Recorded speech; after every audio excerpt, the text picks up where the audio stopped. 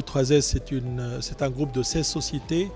8 sociétés sont dans la, partie IT, dans la technologie, dans la, formation, dans le réseau, dans l'Internet, et les autres sociétés dans, dans les énergies renouvelables et l'économie d'énergie.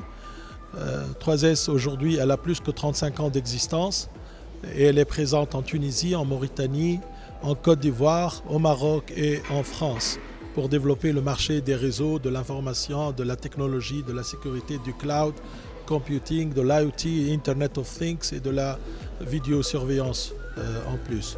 Aujourd'hui, euh, on a fait cet événement de lancement de partenariat avec Huawei. C'est un, un partenariat qu'on a commencé à travailler plus qu'une année.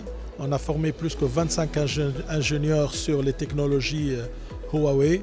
Huawei aujourd'hui, c'est un géant mondial avec plus que 170 pays, plus 194 000 employés. Euh, ils sont en train d'investir plus que 20% de leur chiffre d'affaires dans le R&D qui représente un chiffre énorme. Euh, je crois qu'ils sont le numéro 2 mondial dans, dans, ça. Ils ont plus que 12 000 patentes.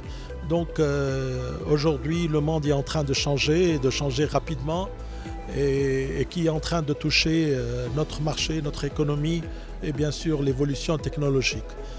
Euh, pour ce faire et pour maintenir cette croissance chez 3S, qui est une croissance assez considérable, c'est une croissance du double digit growth, donc on, on, a, on a mis une stratégie d'attaquer de nouveaux marchés, euh, principalement en Afrique, d'attaquer de nouvelles franchises telles que la, transmission, telles que le, storage, telles que la, 5G, l'intelligence artificielle.